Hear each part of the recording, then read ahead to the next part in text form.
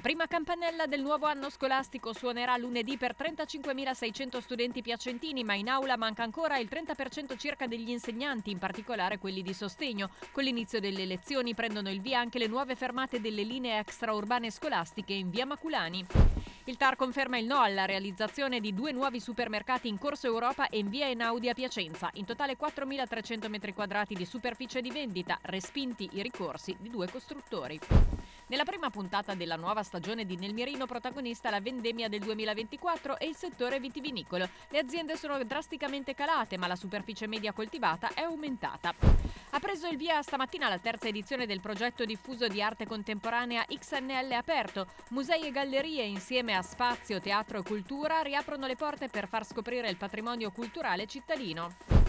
Calcio Serie D dopo il passo falso dell'esordio, il Piacenza cerca domani l'immediato riscatto in casa contro il Corticella, mentre il Fiorenzuola va a caccia di un altro risultato positivo sul campo del Sasso Marconi. Tutte le altre notizie sono a disposizione sul sito www.liberta.it.